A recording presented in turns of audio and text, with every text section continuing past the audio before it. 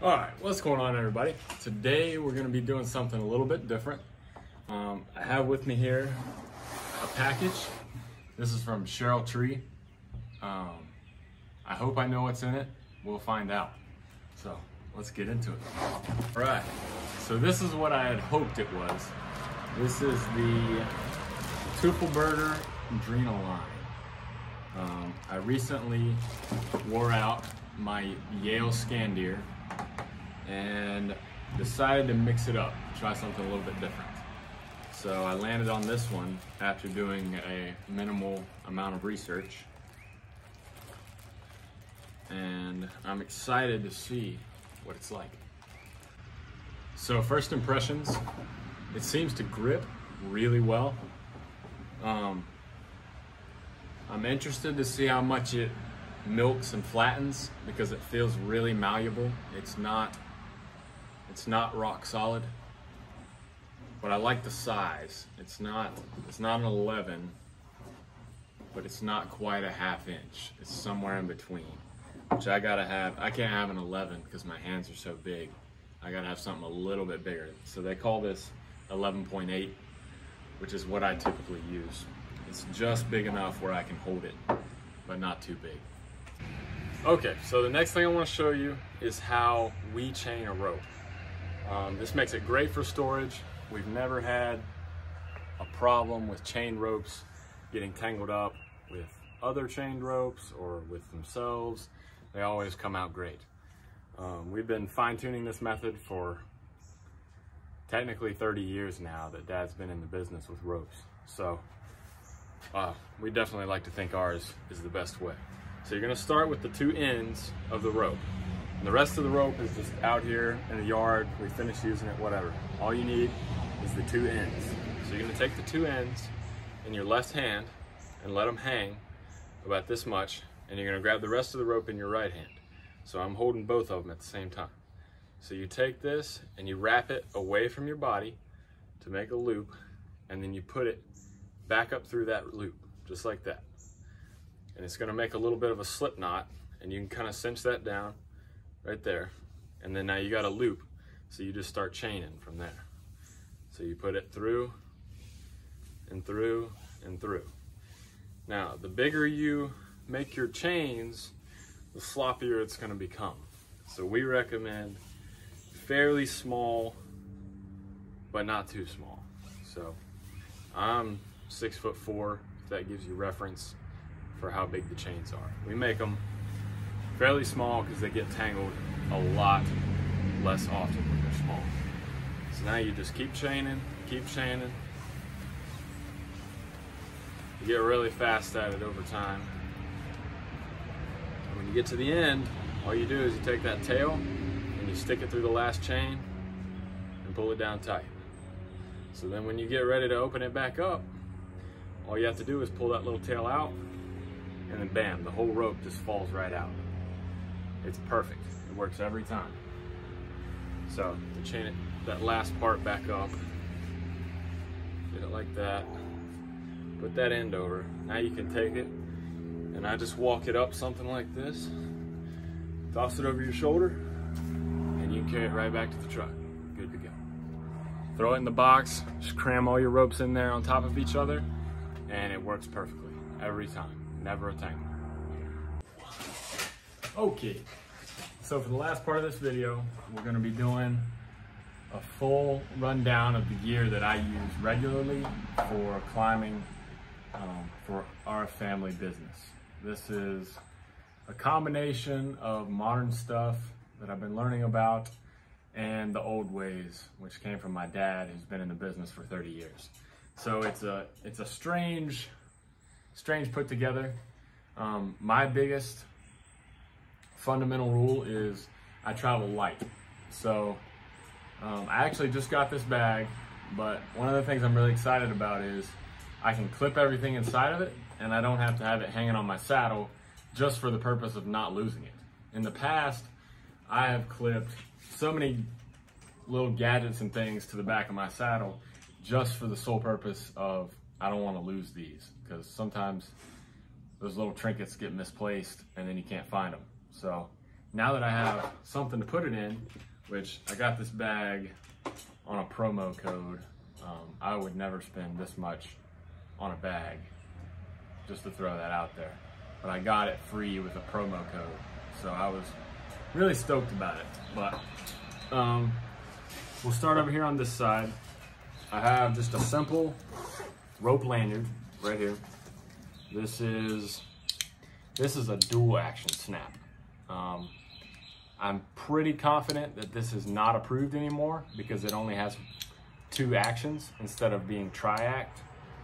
So sometimes I still climb on it because it's worked for a long time now and it's never failed. Um, I use the Rock Exotica rope grab with the 90 degree pivot. I really like that 90 degree. It's super cool to be able to use. Um, we'll skip the handsaw because this is not my primary. This is a backup Silky Zubot. Um, so as far as my gadgets, rarely do I carry all of these in a tree. Um, this is just a friction hitch setup. I have one of those. I have one accessory. I have a 50 Newton, 50 kilonewton steel carabiner. This is a triple, triple locking. It has three-way triact. Um, I have this D-ring that I don't use. It's uh, got a, a pocket wedge, which is mostly just for show. I've never actually used one in the tree. My big thing about that is if you need a pocket wedge, you need to go back to saw school. Um, one of my big fundamentals is you got to know how to use a saw before you can climb a tree. Anybody can monkey up a rope, but using a saw is another another game in and of itself. Um, I have a good old figure eight. Somebody told me that this box shaped one doesn't spiral your rope up, so I was like, okay, I'll give it a try. Because I hate it when your rope gets twisted, but it's a gimmick, it doesn't work. Um, and beyond that, I have one speedline choker. It's just a round choker sling on a triact aluminum carabiner. And I can use that as a redirect. I can use it as um, a speedline choker. I usually switch it to the steel carabiner if I do that. But I only have one. You, don't need a bunch of these, just one's enough. Great, the next piece of equipment is my Adrenaline rope, which I have never used. I just got it today, as you saw earlier. Um, I have the zigzag threaded all the way to the end. That's how I store it. It's ready to go. I just pull it out, shoot it up in a tree. Or if I'm spiking, you know, I just clip it on like it is. I don't even have to, to worry about it. But I only have one rope because most trees around here are all the same size. I can, I can do any tree in the triangle with a 150 foot rope. I've never needed a longer one. Um, I probably should have had a longer one a couple times, but if you're if you're smart with it, you can use a 150 foot rope in the in the triangle area, and it's a plenty. Um, the next thing would be my saddle. This is a Teufelberger Tree Motion. I have had it, I believe, six years at this point. I'm not positive on that but it's just the it's the standard. If I got another one, I would definitely get the light. I'm all about lighter stuff. Um, less weight means I'm faster, which is a big deal. On the back,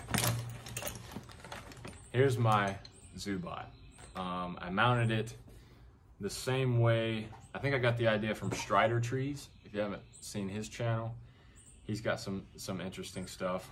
Uh, I carry my med kit back here. Um, there's a, a tourniquet and the blood stopper, whatever it is, that came with it. I added a tourniquet, which I recommend. Um, and then on this side, I have, uh, it's a, the CMI shim beaner. I don't know if you can see it. It's just a hook, it's open, but I'm gonna tell you right now, a gate is not necessary. There's absolutely no need to have a gate on your transporter. Um, that particular one is where I clip my chainsaw. And there's, I've never had it come off. Um, I do a lot of swinging. crazy upside down stuff and that sort of thing. And if you look at it, you can't see it because the saw here. There's this little tab right here on the bottom. So if you go upside down, that ring on my chainsaw lanyard is gonna catch right there. And it has never come off. And I don't anticipate it ever coming off. So the perks of not having a gate is I can grab my chainsaw without even looking where I'm grabbing with one hand, easily.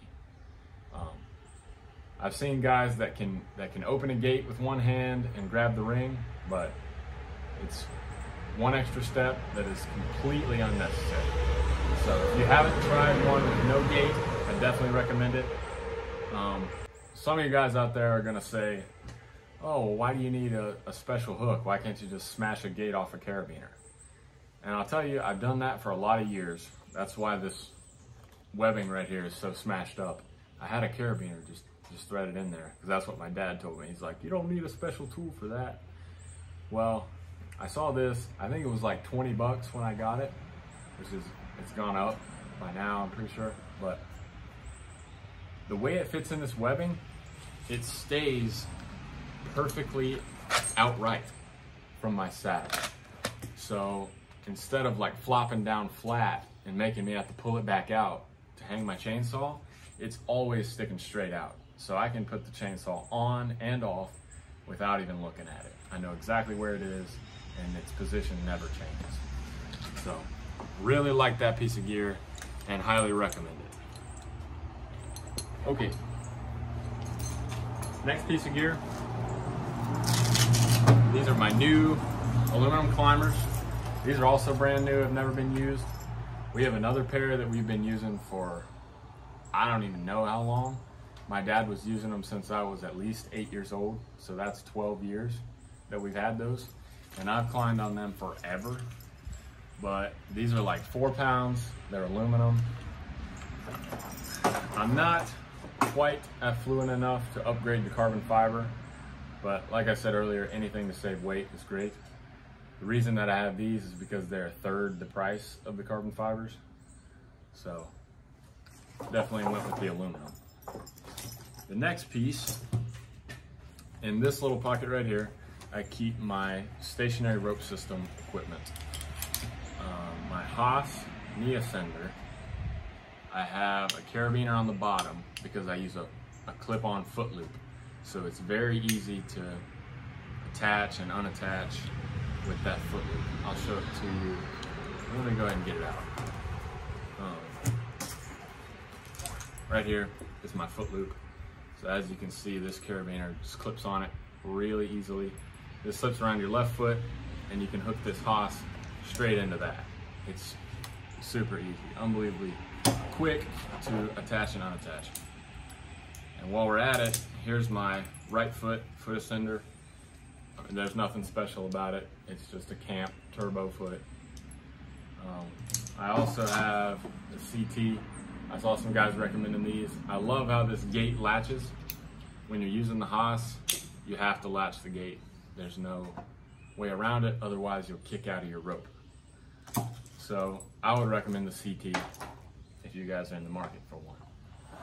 Um, what was the other thing we were on? Okay. Chicane. I have a chicane. Um, I don't use it a ton. The times when I use it are when I'm going straight up quickly. I have one or two things to do while I'm coming in a straight line straight back down. Um, guys talk all the time. They're like, oh, single rope is is great for rope walking, um, limb walking, that kind of thing. I hate using it for limb walking because I have to reach up there and I have to turn this thing down and depress my zigzag with one hand while I'm rope walking. And that to me is such a pain in the butt. I, I don't know why people think it's so easy. It's, it's not. So my chicane I use to go straight up and straight down. That's it. Because it is really easy to just shoot a rope over, tie it at the base, and go up one side. Then you don't have to worry about isolating your climb line for a moving rope system. That's something I really like. Um, by the way, all the stationary moving rope, you guys are welcome to debate with me in the comments um, your preferences on stationary and moving rope. Um, if I'm gonna be up in a tree for a while, I always switch to moving rope because for me, it's a lot faster, a lot smoother. I can limb walk really fast and I can also go back to the main trunk from a limb walk really fast. I don't have to have an extra pulley up at the top. That's more weight on my saddle. I don't, I don't want more weight for something that I can do really easily with a moving rope system. So, yeah, you guys are welcome to to debate with me about moving rope versus stationary. I admit I'm not up to date on all the latest stuff, so um, I welcome your feedback if you want to point me to something newer and improved. I, I love learning about new systems. I get kind of geeked out about some of it, but um, yeah, let me know in the comments what your preferences are for stationary versus moving when you use it. The last thing that I have is a chainsaw lanyard. There's nothing special about it. Supposedly right here it breaks away. Um, I've yanked on it pretty hard before and it has not broken but I use a carabiner straight to my saw, to the ring, and then I hook this on the back ring on my saddle. And this ring goes right in the little hook. You see the hook right here? Ring goes right like that. The saw hangs right there. So it slips on, it slips off, no problem. So that's it for my climbing setup. You guys have seen it all. It all fits in this bag, including my Protos helmet. Um, I definitely recommend these for all you guys out there that have not tried one. Um, I have the Bluetooth in mine. We use them. We've used them for, I don't know. I mean, it's been like four years now that we've had them. And absolutely love them. You can have a normal tone of voice conversation with your employees standing right beside the chipper. It's unbelievable. So hope you enjoyed the video. Um, that's my full climbing setup. These are all the things that I use regularly. And like I say, if I'm going up to do just a crane removal, all I need is my rope, my lanyard, some spikes, and that's it. I mean, there's no need to take more gear when you don't need it. I'll also add that in the in the chip truck we have a cable lanyard and if you haven't tried a cable lanyard on spikes it's it's really nice especially when we do pine tree removals and that sort of thing we I always use the cable lanyard so I just have I just don't have it in here but if I'm doing a crane removal or a pine tree removal sitting on the spikes I always have that cable because it's so nice, nice and stiff to flip. Uh, let me know in the comments if you have any questions about any gear that I use or what I do in certain situations. Um, I'd be happy to share tips that I developed or that my dad's developed over his 30 years of experience. If you're looking for tips and tricks, my advice to you may not be something along the lines of a really complex rigging scenario. Um, I'm not going to tell you on a leaning tree you need to set three climbing ropes or something like that. Um, my answer might be a little harsh to some, but it's mostly going to be learn your chainsaw, learn how to use a chainsaw, one, so you don't pinch it, but two, so you can get limbs to fall exactly like you want them to. And that takes practice. You got to put in the practice and put in the work to get good with the chainsaw. Um, the other thing is, be a little more athletic in the tree. Um, practice your balance skills. People don't practice balance near enough. You have to be very good at balancing to work on a pole with a single rope and a lanyard. And you might fall a couple times while you're practicing, but if you've got your lanyard and your rope in the right spot, then you should be fine. It just might be awkward for a couple seconds while you scramble back up where you're supposed to be. So my types of advice are going to be learn your chainsaw and learn how to balance really well. That's what's going to make you faster and it's going to make you lighter because you're not going to be carrying near as much gear.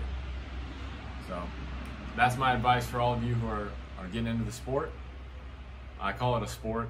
Um, I like to look at it that way. I played a lot of sports in high school, and this is just a way for me to, to make money and to keep playing sports. So I love it. Um, that's the end of this video. I'll see you guys in the next one.